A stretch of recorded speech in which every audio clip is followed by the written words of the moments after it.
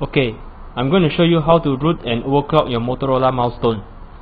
Okay, the first app which we are going to use is called Universal Androot. It is a simple one-click rooting application. So just by one click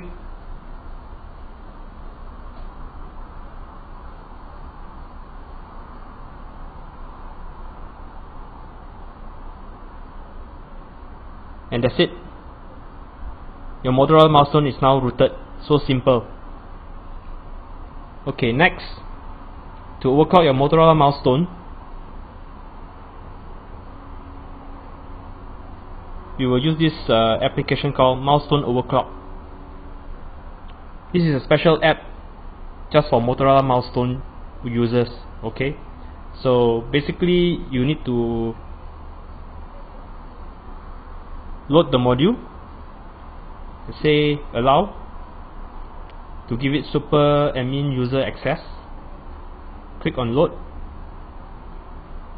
Okay and you can overclock using the presets 600 800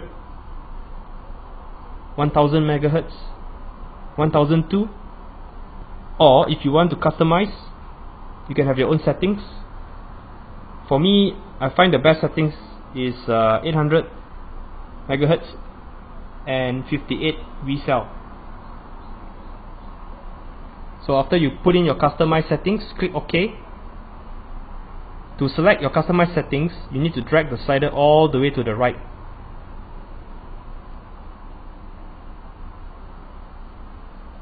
So it says here 800 megahertz 58 Vsel apply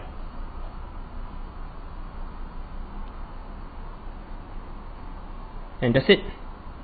But one thing you have to note each time when you reboot your phone um, the overclock will be reset back to stock. So you you would need to run the the Motorola milestone overclock app once again. So that's it